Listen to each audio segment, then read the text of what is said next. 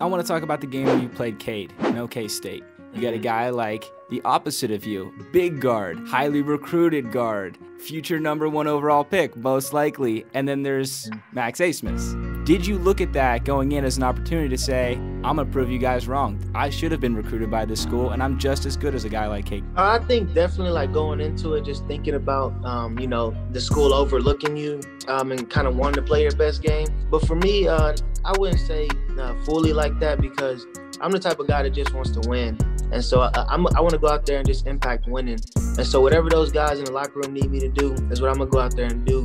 Uh, whether that is score the ball, facilitate the ball, or defend. So you know, I don't really think about myself too much.